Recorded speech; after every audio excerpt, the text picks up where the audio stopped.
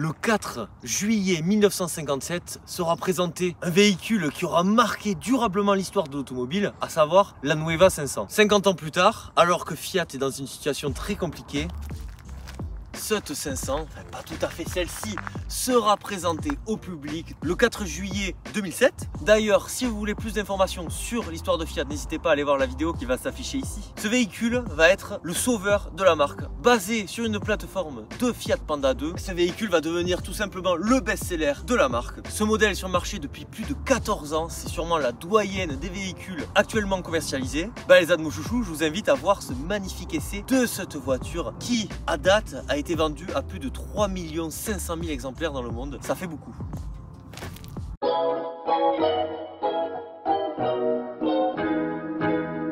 Vous l'aurez compris, Atmophile, ce véhicule a été un énorme succès. Mais alors, à quoi il est dû ce succès? Pour moi, il y a trois points bien précis. À commencer par le design. On ne peut pas la détester, c'est trop mignon. C'est vraiment un coup de génie marketing. Après, finalement, ils ont fait que reprendre la tendance du moment parce qu'ils ont vu Volkswagen lancer ce principe du néo-rétro avec la New Beetle donc en 98. BM a suivi en 2001 avec sa petite Mini. Et donc Fiat, finalement, voyant le succès notamment de la Mini, s'est dit tiens, et si on relançait ça? Et ça a été notamment orchestré par Luca De Meo, qui est tout simplement l'actuel PDG de Renault. C'est pour ça que Renault, là, je les attends de pied ferme. D'ailleurs, le jour où va sortir cette vidéo, la 4L va être présentée. Autant vous dire que la semaine prochaine, ça va parler 4L. Le deuxième point qui a fait de ce véhicule un petit succès, même un gros succès, c'est cet habitacle. Notez ces magnifiques tapis de sol 500. Cet habitacle vraiment a aussi euh, ben, contribué au charme de ce véhicule avec donc ce bandeau en noir laqué et tous ces clins d'œil néo-rétro. On s'attardera un petit peu plus là-dessus après. Enfin, troisième point, peut-être l'élément principal, c'est que en plus d'avoir un design super sympa, que ce soit donc l'extérieur ou l'intérieur, ben, ce véhicule présentait un rapport qualité-prix, on va dire quand même assez avantageux comparé à une Mini.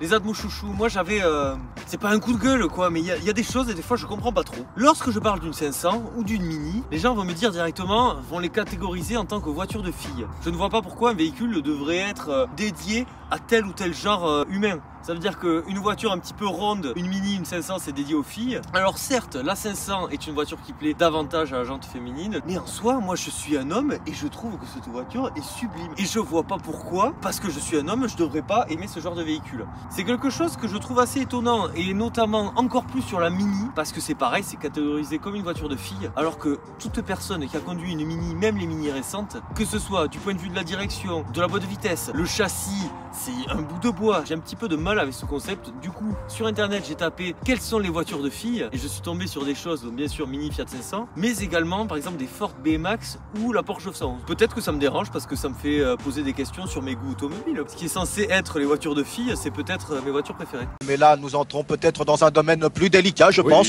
Tour du véhicule. Allons-y, Zatmophile, même si tout le monde en voit tout le temps Fiat 500. Alors regarde-moi ce petit minois là. Et ce qui est bien, c'est que Fiat a vraiment accentué des petits détails qui font la différence. Notez ces espèces de fausses touches de chrome là sur la calandre, très très sympa. Là aussi, tu as des barrettes un petit peu chromées partout, les phares typiques d'une Fiat 500, les proportions, regarde-moi ce mini capot, c'est hyper drôle. Regarde-moi ça. 3,57 m, c'est une des voitures les plus compactes du marché. Pourtant, je trouve qu'elle est bien proportionnée. C'est un petit pot de yaourt, on est d'accord, mais terriblement mignon. Je vous parlais d'attention aux détails. Ces poignées de porte, imitation chrome, ce petit rappel 500. C'est le genre de petits détails qui accumulés font la différence sur ce genre de véhicule. Qu'est-ce qu'a apporté ce restylage Une face avant un petit peu différente. Et moi, ces feux arrière, je les trouve très jolis. Avec cet espace où il y a la carrosserie, c'est fin. C'est fin, c'est très fin, ça se mange sans fin. Ça dénote des autres modèles d'ailleurs de la marque Fiat. Sous tous les angles, elle est jolie cette voiture, c'est quand même quelque chose. Hybride, on va y revenir dessus tout à l'heure parce que vous allez voir que c'est pas une hybride comme on l'entend. Mais la chose la plus importante les atmophiles, cette petite 500 là, elle a été designée par Roberto Giolito. Mais qui est Roberto Giolito C'est peut-être le mec qui a designé euh, le Fiat Multipla. Oui oui, le fameux Multipla que tout le monde aime décrier. Il a dessiné aussi une des voitures les plus vendues de l'histoire de Fiat et qui permet à la marque de se maintenir en vie aujourd'hui. Merci Roberto Giolito. Le moment le plus important de la chaîne, vous connaissez. Oh je, je suis choqué. La voiture est très très très compacte. Malgré tout, 185 litres, Et regardez-moi ça. Comme il est mignon cette mini planche là. Elle sert pas à grand chose.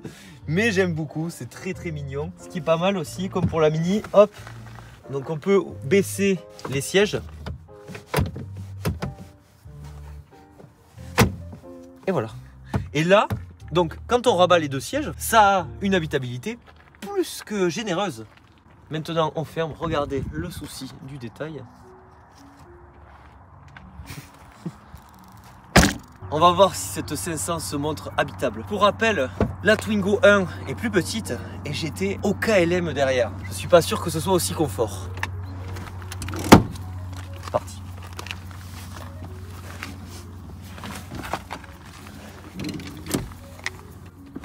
D'ailleurs, je viens de voir que la batterie de cette 500 hybride est située sous le siège. Hop Aïe Bon, espace aux jambes, hein, on va pas se mentir. L'espace aux jambes est pas incroyable je vais mettre là. Ça sera plus des places de dépannage ou pour des enfants. Les enfants, ça ira bien. Sinon, la banquette se montre assez sympa. Là, il y a deux portes gobelets. Et ça, pour teaser à l'arrière, je pense que c'est pas mal. Voilà, bon, c'est pas non plus... Euh, hein. Maintenant, on va essayer de ressortir de ce véhicule. Attention.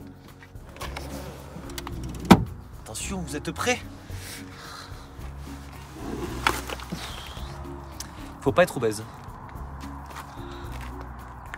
Le monstre Il Mustro. J'ai ouvert ce capot juste pour vous montrer ça. Non mais comment c'est trop mignon. Le monstre le moteur le plus répandu sur ce véhicule et que je vous conseille est le 1 litre de 69 chevaux, éprouvé sur sa fiabilité, une consommation raisonnable, vraiment un très bon choix. Ce modèle étant la version hybride de 2020, ce moteur a disparu de la gamme pour céder sa place à un 1 litre, exactement un 999 cm3, 3 cylindres, associé à un mini moteur électrique. La partie hybride, on va la voir sur la route. Il est mignon, il est facile d'accès, je voulais vous le montrer. Et là, Qu'est-ce qui fait le charme de ce véhicule aussi? J'en ai parlé, putain. Cet intérieur, cet intérieur, il est magnifique. Il regorge d'une petite multitude de détails hyper trop mignons, très girly apparemment. Déjà, moi ce que j'aime, c'est ces poignées là. Elles sont belles ces poignées. Hein. C'est bien beau, c'est bien beau. Petit fait à noter, on a galéré à trouver le verrouillage centralisé. Il suffit simplement de faire ça. Là, verrouillage centralisé, c'est rigolo. Vous me direz dans les commentaires si vous trouvez ça hyper drôle ou pas. Ah, c'est nul une planche de bord un petit peu à l'aspect rétro, avec des boutons un minimum. Le fait à noter qui différencie vraiment la version 1 litre de 70 chevaux à la 1 litre de 69 chevaux, c'est cette boîte 6 vitesses. On va la tester après sur autoroute. Deux prises USB, toujours pratique. C'est une des citadines les plus sûres de sa catégorie. Elle regorge d'airbags. Il y en a un peu partout. C'est un plus quoi. On va dire, euh, si on veut pas mourir, c'est pas mal. Elle est pas belle cette clé? Et maintenant, attention, là, Whoa. Là, c'est violent. Ce qui est marrant, c'est qu'on voit que cette voiture date un petit peu malgré tout. Parce qu'il y a des choses euh, un petit peu à l'ancienne, comme euh, ces leviers de vitesse là sur la planche de bord avec un accès à gauche, un accès à droite. On peut pas baisser et remonter d'un coup. On dirait un truc de monospace d'avoir le levier de vitesse mais en hauteur. La vitesse, température, date, heure, autonomie. Vous avez le compte tour, zone rouge à 6000, attention. Hein. La température moteur, l'essence, là l'essence est remplie. Et cette éco-index, donc quand on est à zéro, c'est qu'on n'est pas trop en conduite éco. Quand on est à 100, c'est qu'on est complètement écologique. Même Pierre Ulrich vous adorerait. Il y a eu des polémiques pour l'histoire du sapin de Noël. C'est là où ça va être intéressant. L'énergie récupérée. C'est une voiture hybride. Waouh, le flux d'énergie, c'est incroyable, magnifique. Maintenant, l'interface tactile. Nostalgie, ça c'est quand même une sacrée chanson. Êtes-vous d'ailleurs plus nostalgie ou skyrock? Ça aussi, hein, n'hésitez pas. Média, il y a mon téléphone de connecté, on va pas mettre le son. Téléphone, on va pas montrer ma life. YouConnect, là c'est une petite interface pour euh, régler un petit peu tout ce qu'on veut. Audio, ça c'est hyper drôle. On va pas le faire parce que vous savez, les droits YouTube euh, sur le son. En gros, si on met le son là, on va avoir le son qui va sortir de ces petits haut-parleurs là que vous avez, notamment ici et à ma gauche. Et si on veut le mettre derrière, bon le son va arriver derrière les oreilles. Le réglage et donc le trip. On va parler consommation. Depuis que j'ai ce véhicule, moi j'ai roulé 137 km avec en deux jours. J'ai fait de tout. Autoroute, ville, route. 5,4 litres au 100 km. Je trouve ça plutôt raisonnable. La voiture s'appelle hybride. En soi, elle n'est pas vraiment hybride. Le système hybride va épauler le moteur. Mais euh, c'est pas une hybride style euh, Toyota Yaris qui, elle, euh, va beaucoup plus loin dans le sens de l'hybridation. Ici, c'est vraiment plus une aide. Une petite aide. Vous allez voir en conduite, il y a quand même quelques petites différences avec une version thermique classique. On va faire maintenant de la route, de l'autoroute et de la ville pour voir si cette voiture, elle est polyvalente ou pas. Parce qu'elle est quand même toute petite, on pourrait se dire qu'elle est destinée qu'à la ville. C'est ce qu'on va vérifier. Insertion. Là, ça va pousser. Là, je suis en 3. Là, je suis en 4. Un peu bruyant. Mais par exemple, quand on est en sixième, voilà, parce qu'on peut rouler en sixième à 90. Là, c'est pas mal. On va voir ce que ça vaut sur autoroute. Là, on est sur deux fois deux voies, c'est sympa. Un Xara Picasso, la meilleure voiture du monde. Sublime, j'adore. Régulateur de vitesse sur une petite voiture, ça fait toujours plaisir. Notez que beaucoup de versions sont assez bien équipées. Celle-ci n'a pas le toit en verre. Beaucoup de Fiat 500 ont le toit en verre, ce qui est assez sympa pour la luminosité de l'habitacle. Les Fiat 500 colorés ont cette planche de bord, mais couleur carrosserie, ce qui est assez sympa. Là c'est noir, bon ça reste assez sobre. Alors dans les virages,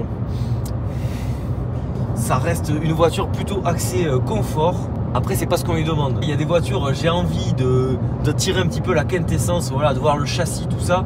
Celle-ci, elle va s'appréhender de manière beaucoup plus zen. Un petit peu ben, comme son mode électrique, finalement, le laisse se présager. C'est-à-dire une voiture où on roule tranquille, pépère. Alors, qu'est-ce que vous en pensez, vous, de cette nouvelle C4 Regardez comme on double magnifique. Et là, regardez, voilà. Oh là là, sublime. Non, je rigole.